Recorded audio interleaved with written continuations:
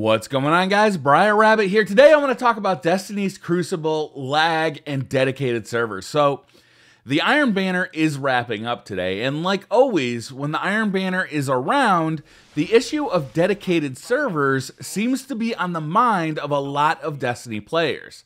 And there is a reason for this. When playing normal Crucible, players often jump in solo, and Destiny's matchmaking, which uses peer to peer networking, matches a large pool of players up by skill, connection, and some other factors. This will generally create a fairly decent experience. You may still see some players lag, but it will usually be isolated to one or maybe two individuals in a 6v6 game mode.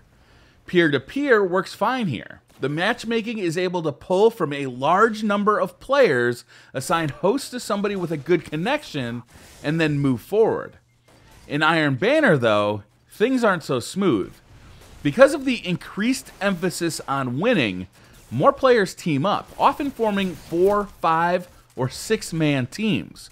Because of this, the Iron Banner often displays the shortcomings of Destiny's matchmaking on a far greater level than other game modes. Consider this Bungie wants six man teams to play other six man teams. This is good. A team full of randoms does not want to be blown out by a pre made team who is communicating, team shotting, and coordinating capture points and vice versa. The pre made team doesn't want to just casually stomp randoms. It's not exciting, it's not fun for either team. So Destiny is trying to match make pre made teams together. And this creates some problems.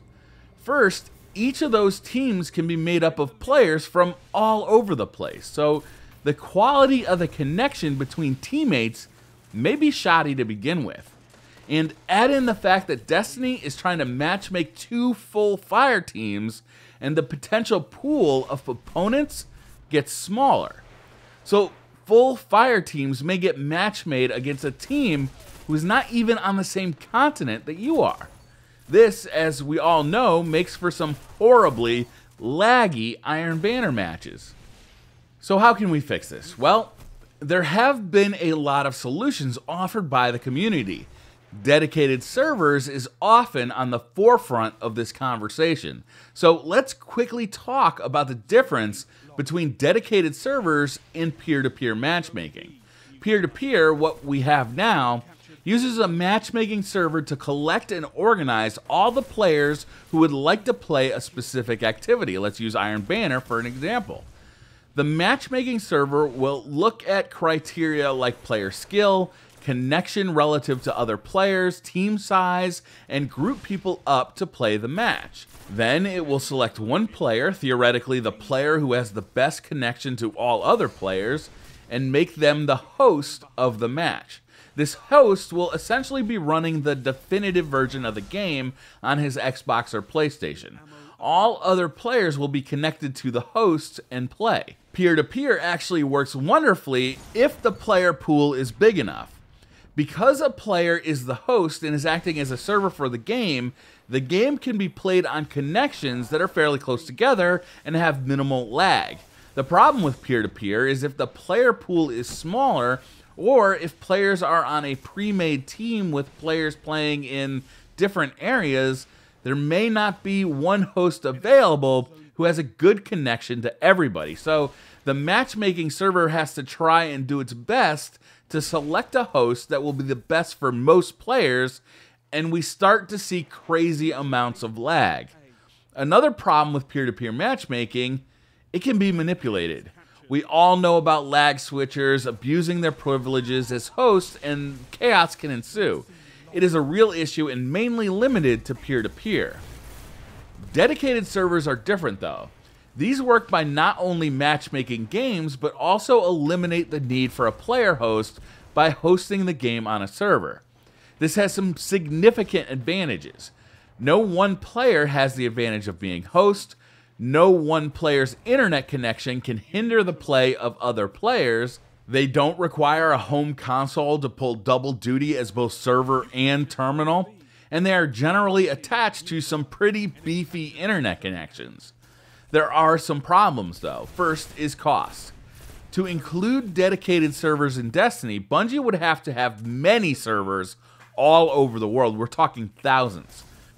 Players would be connecting to these servers from anywhere you can imagine, and dedicated servers would have to be built locally or they are essentially pointless.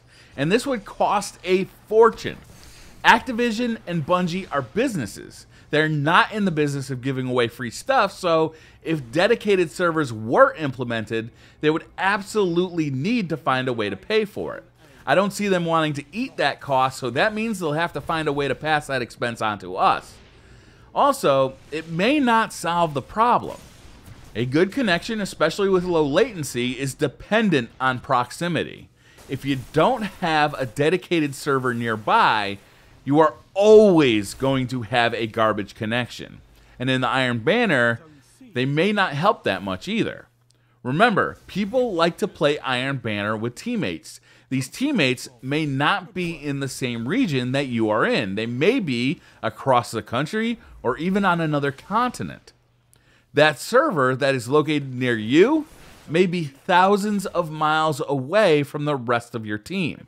So somebody is going to have to connect to a server that is not necessarily ideal. Again, creating bad connections. Ultimately, there is no silver bullet for online gaming. The internet is not consistent, and speed and latency can vary widely from place to place. But everybody wants to play no matter what type of potato their internet is running off of. Are dedicated servers the answer? For many, they would be amazing, but come at a very high cost. For others, they would provide a consistently bad experience. But we know that peer to peer matchmaking is not doing the trick.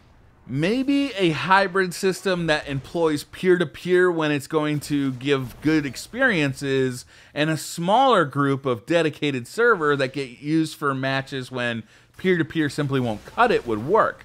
Hard to say, I'm not a networking engineer, but I do know that the current system is not a good one and something needs to be done. And it needs to be done pretty quickly. I believe that the lag of the Iron Banner in Trials of Osiris, in, in Destiny's PvP in general, is driving people away. They see other games that have a better player experience on the same connection that they're currently running Destiny on, and that's not acceptable. It's just not. We need an improvement in either networking code, matchmaking systems, or maybe by employing a small amount of dedicated servers.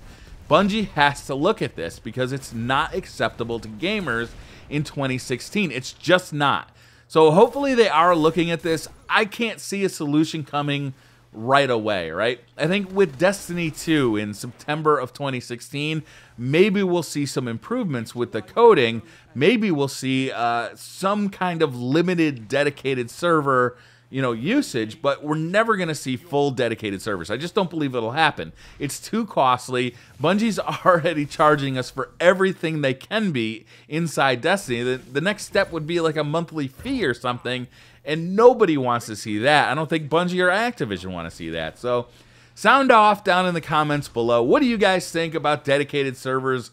Uh, what should Bungie do to increase the playability of game types like the Iron Banner? Because right now, people just aren't happy with the lag, with the characters just running into walls, with, you know, unkillable players inside the Crucible. It's just not a fun experience. So let me know what you guys think in the comments below. That's going to do it for this video, guys. Thank you very much for watching. Hit that like button if you like the video. Hit subscribe if you're new to the channel. And I'll see you guys next time.